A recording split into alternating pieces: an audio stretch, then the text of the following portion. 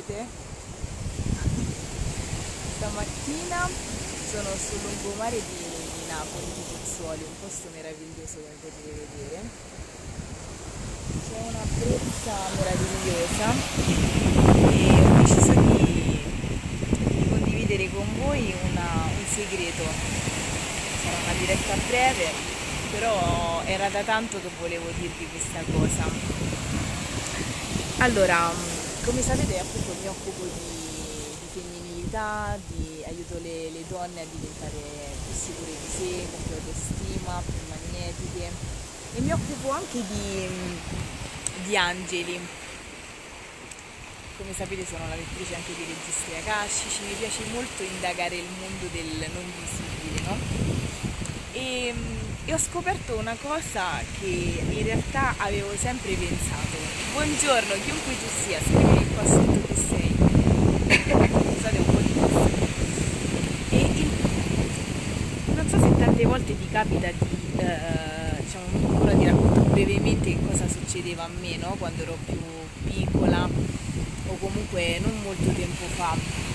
Diciamo che vivevo molto male, nel senso che vivevo con costanza, sempre ansiosa, sempre preoccupata. C'erano dei periodi, mi ricordo all'università, quando andavo, quando venivo qui all'università a Napoli, addirittura avevo paura di prendere il treno, di prendere la metropolitana, avevo paura di andare a fare gli esami, avevo gli incubi per tutta la settimana per quello che sarebbe successo poi nella stazione per strada, avevo paura di essere derubata, insomma, mm, vivevo costantemente nella paura e nell'ansia nell'angoscia. E, mm, e com'ero? Ero. Non, è- non si vive, non si vive bene quando si vive con la paura, con l'ansia addosso, no? Cioè, penso che mi puoi capire. E, mm, e poi un giorno che cosa è successo? Non molto tempo fa ho scoperto il fantastico mondo degli angeli, no? Ho scoperto, ho iniziato ad avvicinarmi agli angeli perché, per- grazie a un libro, perché avevo questo, avevo bisogno di capire chi fossi veramente e mm, di esprimere veramente me stessa, chi, chi ero io, di esprimere soprattutto i miei bisogni e, sme- e volevo fondamentalmente smetterla di vivere con l'ansia, con la paura e, e anche di farmi un po' controllare dagli altri, perché quando noi non siamo sicure di noi stessi, non ci conosciamo, non sappiamo bene chi siamo, fondamentalmente non sappiamo nemmeno noi cosa vogliamo e quindi ci lasciamo, eh, ci lasciamo condizionare dalle volontà degli altri, no? Mi sentite? Che sto qui comunque sul mare, ho messo anche gli auricolari così mi potete sentire meglio, però non so se mi sentite bene, scrivetemi qua sotto se mi sentite. E quindi che cosa stavo facendo? Che stavo, stavo- cioè, stavo vivendo una vita mm, silenziosa, una vita anche a livello di relazioni, non, non sapevo nemmeno io che cosa volessi sinceramente. E i partner che sceglievo praticamente mh, facevano un po' il cavolo, cioè nel senso mi lasciavo guidare, dai, mi lasciavo guidare da loro oppure sceglievo persone che non erano che non erano quello che, che io volevo, cioè semplicemente per non rimanere da sola, per paura di non rimanere da sola. E un giorno mi ero stufata e così ho incontrato questo libro, si chiama Gli angeli in te, che è bellissimo, su cui ho fatto anche un videocorso, se vuoi poi ti metto il link che è bellissimo questo videocorso perché racconta proprio di come esprimere se stessi senza paura e essere assertivi, però essere sempre il mare, eccolo, vedi che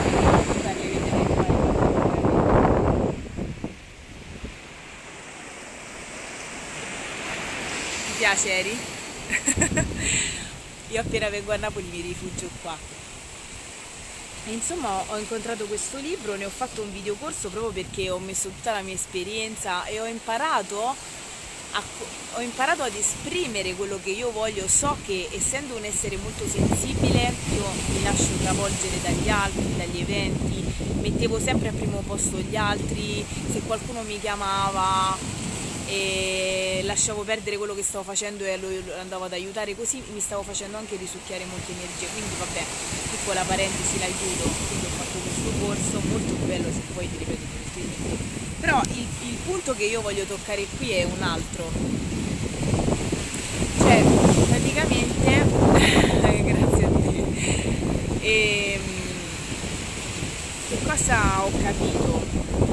Ho capito che se volevo diciamo, avere più, autos- più stima di me, se volevo essere più sicura di me, non è che potevo contare solo su di me, cioè sulla mia, sulla mia mente, sulle mie forze, no, perché comunque ho scoperto di essere umana, di essere molto fragile, di essere molto debole, di avere molte fragilità, molte molte cose che nemmeno mi piacevano di me, io da sola non riuscivo ad accettarle.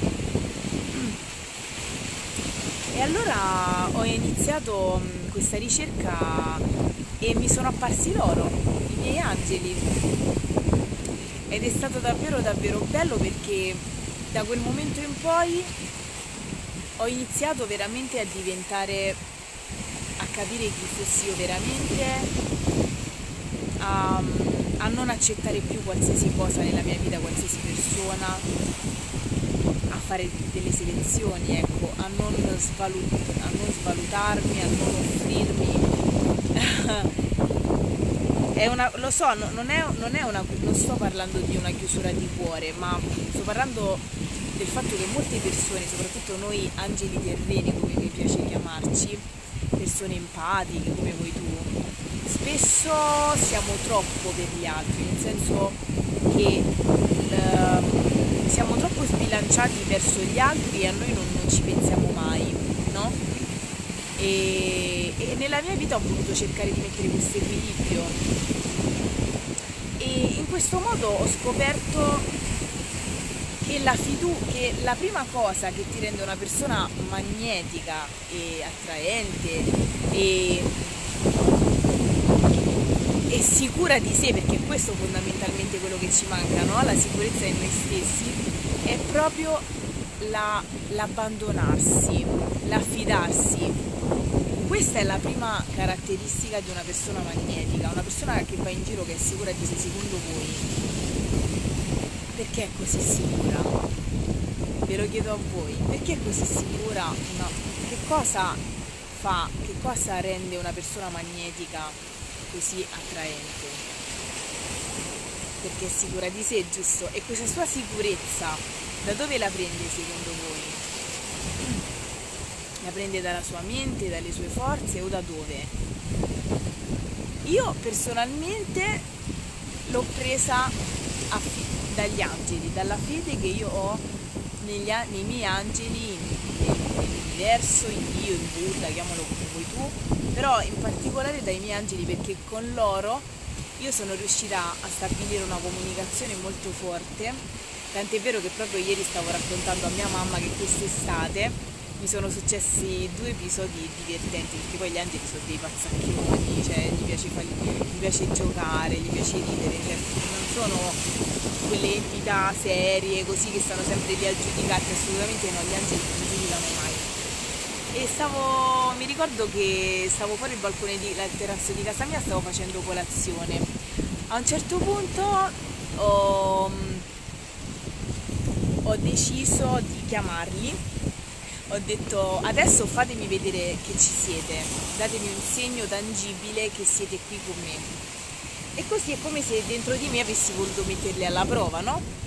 Allora l'ho chiamati ho detto fatemi sapere se ci siete, non ho nemmeno finito di dire fatemi sapere se ci siete, a un certo punto vicino a casa mia stavano facendo dei lavori di restauro del comune, del, paesino dove abito.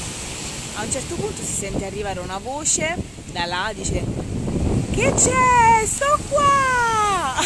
Ma proprio forte, cioè proprio anche in dialetto. io, io là non ce la facevo, cioè sono morta dalle risate, ho detto no aspetta, ma davvero all'inizio non avevo collegato perché ho detto, cioè sai quelle cose che ti succedono così che non te le aspetti, ovviamente io non mi aspettavo niente di tutto ciò, non è che mi aspettavo. E invece quelli se ne sono usciti, dice, cioè proprio urlando, che c'è? Guarda che sto qua, che chiami? Cioè così. Ma non è che diciamo questi muratori che stavano lì a lavorare tutti i giorni non, non, non mai alzano la voce, non li senti mai, cioè stanno lì tra, la, tranquilli e lavorano. E invece questi hanno proprio detto eh, cioè proprio io ho detto cioè proprio in quel momento eh, non è che dieci minuti dopo no in quel momento in cui avevo chiesto cioè è fantastico. È veramente cioè sono veramente dei pazzi questi qua. E e già là ho detto vabbè dai, non, non, lo so, non ci volevo credere, però era troppo strano. Poi mi è successa un'altra volta, praticamente stavo con, de, con una mia amica, stavamo, lei, la, questa mia amica stava eh, vedendo un locale per, eh, dove diciamo, doveva spostarsi col suo magazzino, quindi stavamo stava parlando insomma, con un affittuario per vedere questo nuovo locale dove sarebbero trasferiti, no? A un certo punto io mh, mm, stavo pensando agli angeli, non so perché a un certo punto a me la, mi viene di connettermi con loro perché comunque eh, li sto studiando, sto leggendo tanti libri, eccetera, quindi mi viene spesso il loro pensiero di chiamarli. Allora mh, mm, li ho chiamati e ho detto adesso che c'era un posto buio, non c'era una luce, non c'era nessuno, non sarebbe potuto succedere nulla, io per questo li ho messi alla prova, no? E allora ho detto adesso, fate, cioè, se veramente esistete fatemi vedere se ci state, anche qua, anche in questo posto sperduto dove non può succedere nulla. Non finisco nemmeno di dire questa parola, a un certo punto po, po, po, esplodono dei fuochi d'artificio là dietro, dietro questa, questo stabile cioè durano tre secondi, po, po, po, po, po, po, po, fine. Io così, no, non ci posso credere. Cioè, non so se riesco a trasmettervi l'assurdo di questa situazione. Cioè, si sono manifestati praticamente tramite dei fuochi d'artificio che non, stava, non era nessuna festa, non stava scritto da nessuna parte che dovevano esplodere questi fuochi d'artificio così all'improvviso, capito? Allora là io ho detto va bene dai, mi arrendo. E poi era successo tra l'altro a poco, mi sembra o nella stessa giornata era successo oppure a distanza di pochi giorni. Allora io lì ho detto basta, non vi metto più alla prova, ho capito che esistete. E, e queste cose a me mi danno molto, molta fiducia, molta... cioè io qualsiasi, qualsiasi problema, qualsiasi cosa, io li chiamo e loro vengono e questo, questo affidarsi, questo totale, questa totale fiducia no? che, che, poi tu sviluppi ti rende una persona veramente magnetica perché ti rende sicura di te, sei in... nessuno ti può fare niente. Puoi andare in giro per il mondo e affidarti a loro semplicemente. Ovviamente non è che, cioè, non è che modi devi andare nel Bronx di Manhattan in mezzo ai...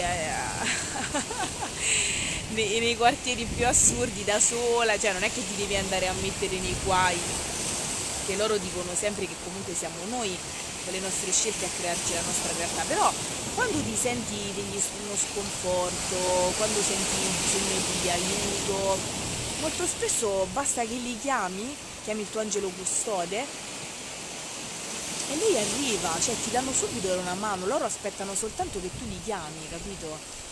E questo ti farà diventare anche una donna più sicura di te, molto più magnetica perché le, persone magnetiche sono persone sicure di sé, ma non di sé di sé, di sé di essere sostenute. Ti piace questo discorso? Non lo so, mi è venuto così e ho voluto donartelo così come mi è venuto. Scrivimi qua sotto se anche tu comunichi con i tuoi angeli oppure se ti è successo qualcosa del genere qualche esperienza simile che li hai chiamati e subito sono venuti oppure come tu comunichi con loro, come appaiono a te nella tua vita. Ok? Ti do un bacione, buon sabato!